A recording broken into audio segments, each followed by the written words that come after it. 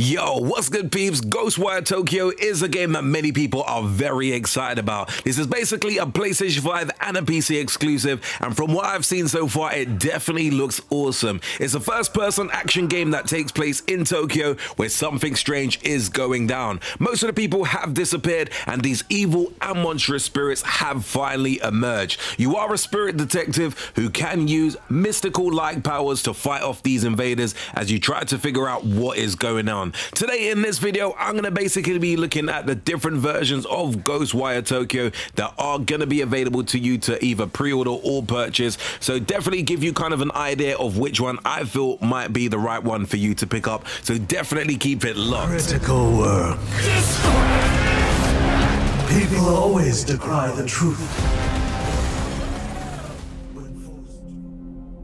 First up, we got the Ghostwire Tokyo Standard Edition, which is available both physical and digitally on both the PlayStation 5 and PC. As the name suggests, this is basically the basic version of the game, and the thing is, you can get some really, really cool bonuses here. For example, for the PlayStation, and if you did want to go down the physical route, if you did purchase the game from Amazon, you get a cool metal tin style poster with the game. Also, for the physical aspect, and you wanted to use game as your retailer, then you can get access to the steel case for the game. If you pre-order the game, you get the Hannya outfit for both PC and PlayStation players. However, PlayStation 5 pre-orders also come with the biker outfit. This version of the game, both physically and digitally, is listed at $59.99 or £59.99. If you do go down the digital route and you have that all-important PlayStation Plus membership, you can also save 10% if you do pre-order the game, but this deal will expire at 11.59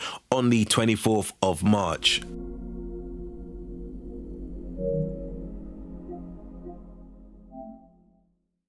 With the Ghostwire Tokyo Deluxe Edition, you get the same pre-order bonuses as you do get with the standard. You can also get the same awesome metal tin style poster from Amazon or even just the also steel case that you can get from Game depending on where you want to buy from. But this is priced at £20 or $20 more than the standard edition. So what do you get for the extra 20 bucks? Well, you can get some really cool in-game items. You get a Shinobi outfit, the Kunai weapon, and also the Street streetwear fashion pack. You also get three days early access with this version of the game, which definitely might be a cool feature for those who want to really get their hands on this game earlier.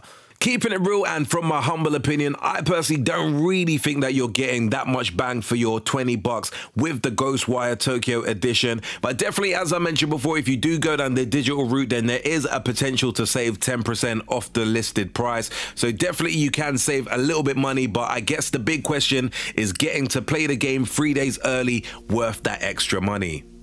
Keeping it real, I probably still need to play the free prelude to see if this game is going to definitely be a day one purchase for myself. On the surface, it does look like a really, really good game. When I did initially see the trailers when they did reveal the game, it definitely blew me away and caught a lot of my interest. So it is a game that I have kind of been keeping somewhat of an eye of, and I do feel like this game is definitely going to show off the power of the PlayStation 5. If I do get this game on day one, I probably will end up grabbing the standard edition as I doubt I probably would make use of the three day early access as I've got so many games to currently occupy my time over the next few days.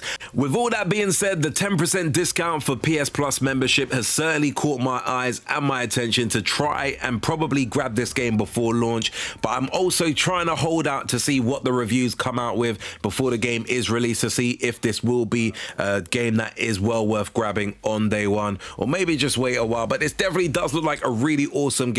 But as I mentioned in my critique, I probably will be aiming more towards the standard edition of the game. Anyway, peeps, that was just a quick run through of the two available editions for Ghostwire Tokyo. Do let me know your thoughts in the comments below as to whether you will be picking this game up on day one. Have you had the opportunity to play the prelude as of yet? And what do you make of the game so far? Will it definitely be a day one game that most people should be running out to grab? As always, if you did enjoy this very quick urban gameplay video, be sure to smash the like button. Do hit that subscribe button if you haven't done so before. And until next video, we definitely say peace out, peeps. Make sure you hit that like and subscribe button for more cool urban gameplay videos.